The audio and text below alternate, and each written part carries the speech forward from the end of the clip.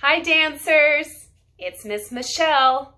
Today our read aloud is about a dancer and choreographer named Alvin Ailey.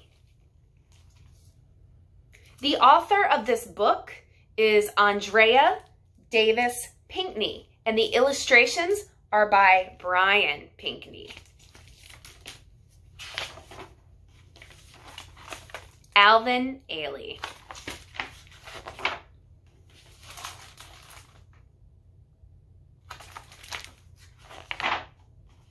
1942, True Vine Baptist Church. It seemed like the hottest day ever in Navasota, Texas, the small, dusty town where Alvin Ailey and his mother, Lula, lived. Blue black flies buzzed their songs while the church bell rang. Alvin and Lula worshiped at True Vine Baptist Church every Sunday. When they arrived for services, Alvin slid into his usual seat in the first row pew. There he could watch his mother sing in the gospel choir. And Lula sure could sing. Her voice rose clear and strong as she sang the morning hymn. The men at True Vine dressed in dignified suits. The women showed off wide-brimmed hats and fanned away the Texas heat. Some cuddled powdered babies, others hugged their Bibles. True Vine's Reverend Lewis delivered a thundering sermon. The organ rang out, followed by a bellow of tenors singing, Rock of my soul in the bosom of Abraham.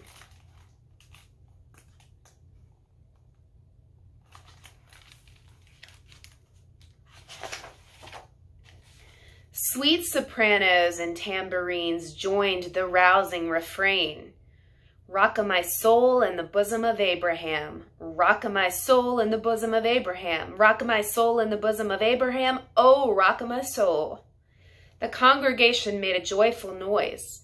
They stepped and swayed with the warmth of the Spirit and raised their palms in revelation.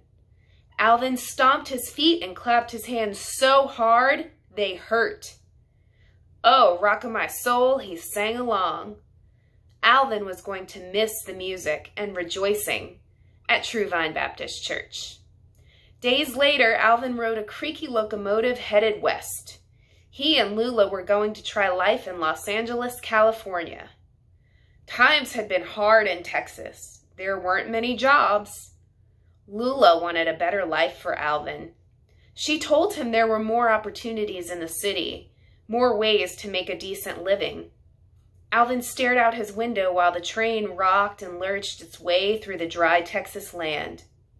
Life in the city would be so different.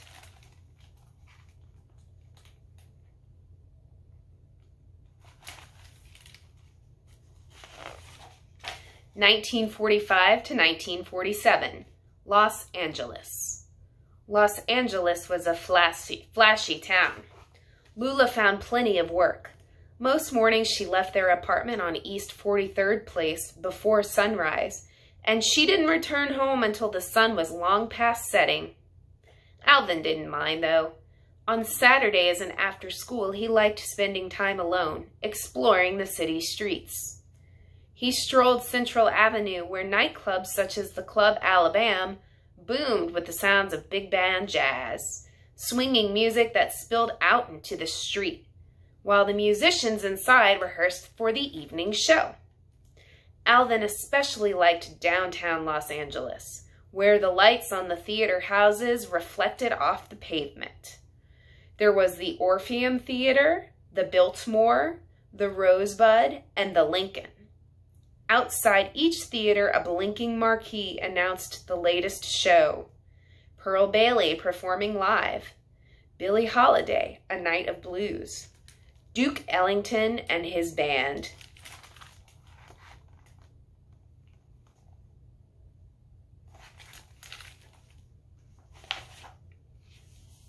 The men who owned the theaters stacked handbills on their stoops. Each handbill announced coming attractions. Alvin collected them all He dawdled along the sidewalk and spotted a handbill showing a black dancer, something Alvin had never seen advertised before. The paper said, coming soon to the Biltmore Theater, Katherine Dunham and her dancers, in Tropical Revue.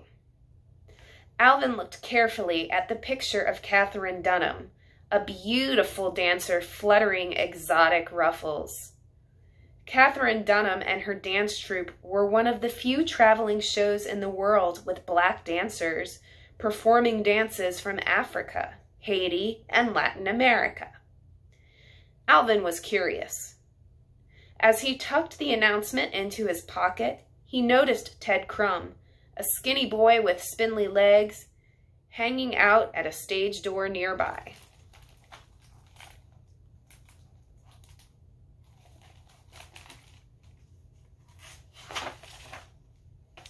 Ted knew all kinds of things about dance. He hoped to dance on stage someday.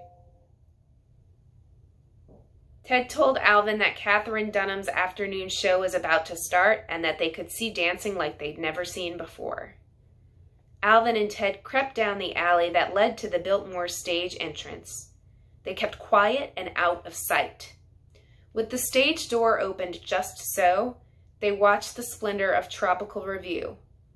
Katherine Dunham and her dancers swirled and lunged to the rhythms of West Indian drums. They were famous for Bahiana, a spicy Brazilian routine, and for a sizzling number called rumba with a little jive mixed in. Alvin's soul danced along when he saw Katherine Dunham's style. Alvin nudged Ted. What is that they're doing? What is that? he asked. That's modern dancing, Ted said. Watch this.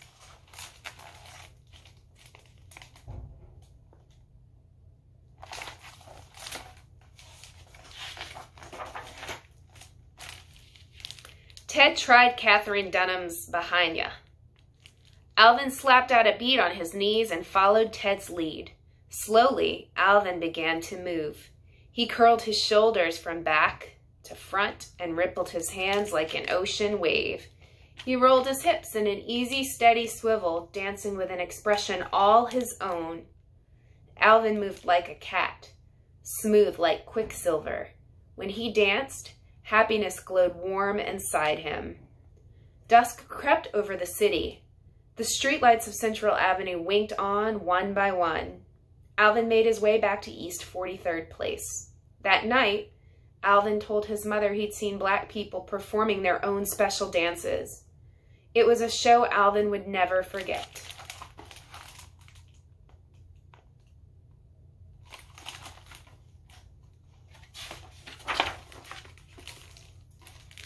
1949 to 1953, Lester Horton's Dance School. More than anything, Alvin wanted to study dance. But when Alvin arrived in Los Angeles, not everyone could take dance lessons. In 1949, not many dance schools accepted black students, and almost none taught the fluid moves that Alvin liked so much. Almost none but the Lester Horton Dance Theater School, a modern dance school that welcomes students of all races. Lester's door was open to anyone serious about learning to dance. At age 18, Alvin Ailey was serious, especially when he saw how Lester's dancers moved. One student, Carmen de Lavallade, danced with a butterfly's grace. Another, James Truitt, made modern dance look easy. But Lester worked his students hard, Sometimes they danced all day. After hours in the studio, droplets of sweat dotted Alvin's forehead. He tingled inside, ready to try Lester's steps once more. At first, Alvin kept time to Lester's beat and followed Lester's moves. Then Alvin's own rhythm took over, and he started creating his own steps. Alvin's tempo worked from his belly to his elbows, then oozed through his thighs and feet. Oh, I forgot to show you the picture for this page. This is a picture of Alvin Ailey at Lester Horton School. And they danced all day long.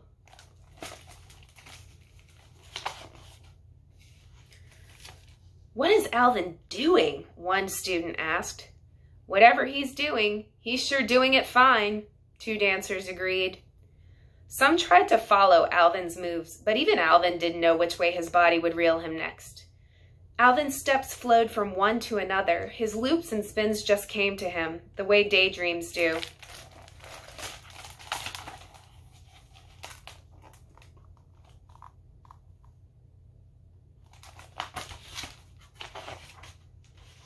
Alvin danced at Lester Horton's school almost every day. He taught the other students his special moves. In 1950, Alvin joined Lester Horton's dance company. Soon, Alvin performed his own choreography for small audiences who gathered at Lester's studio. Alvin's dances told stories. He flung his arms and shim-shammed his middle to express jubilation. His dips and slides could even show anger and pain. Modern dance let Alvin's imagination whirl.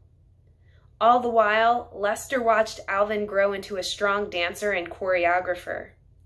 Lester told Alvin to study and learn as much as he could about dance.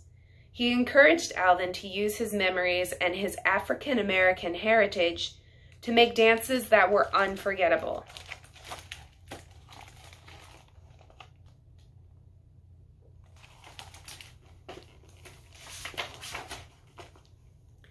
1958 to 1960, Blues Suite Revelations. Alvin's satchel hung heavy on his shoulder. His shoes rapped a beat on the sidewalk while taxicabs honked their horns. He was glad to be in New York City, where he came to learn ballet from Karel Shook and modern dance techniques from Martha Graham, two of the best teachers in the world. Alvin took dance classes all over town, and he met dancers who showed him moves he'd never seen before. So many dancers were black. Like Alvin, their dreams soared higher than New York's tallest skyscrapers. Alvin gathered some of the dancers he'd seen in classes around the city. He chose the men and women who had just the right moves to dance his choreography. Alvin told them he wanted to start a modern dance company that would dance to blues and gospel music, the heritage of African American people. Nine dancers believed in Alvin's idea. This was the beginning of the Alvin Ailey American Dance Theater.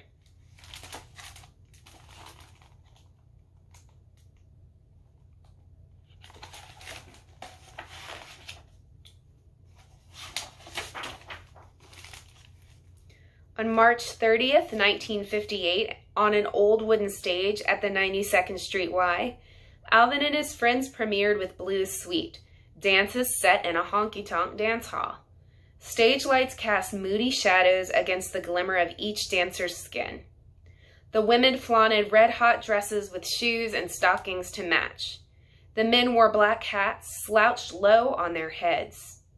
They danced to the swanky swank of a jazz rhapsody. Alvin's choreography depicted the blues, that weepy sadness all folks feel now and then. Blues Suite stirred every soul in the room. Alvin was on his way to making it big. Word spread quickly about him and his dancers. Newspapers hailed Alvin. Radio stations announced his debut. An even bigger thrill came when the 92nd Street Y asked Alvin to perform again. He knew they hardly ever invited dance companies to come back. Alvin was eager to show off his next work.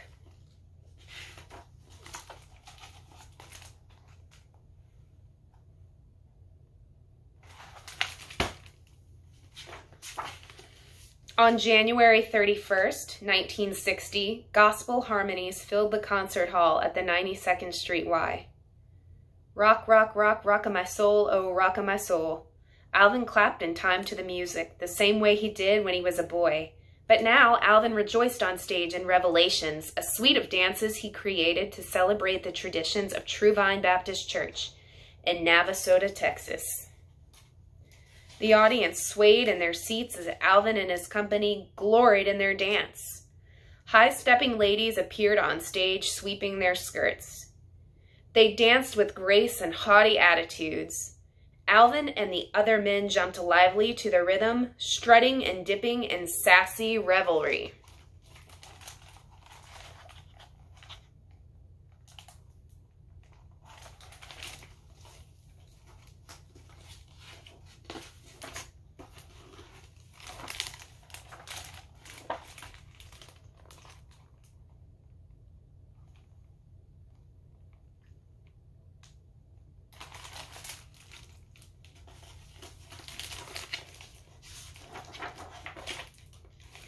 Revelations honored the heart and the dignity of black people while showing that hope and joy are for everyone. With his sleek moves, Alvin shared his experiences and his dreams in a way no dancer had ever done. When Revelations ended, the audience went wild with applause. They stomped and shouted, More! They yelled, More! Taking a bow, Alvin let out a breath. He raised his eyes toward heaven, satisfied and proud.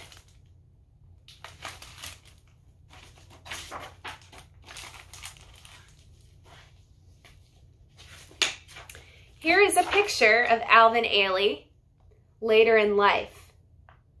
His dance company still exists today. That's all for today, dancers. I love you.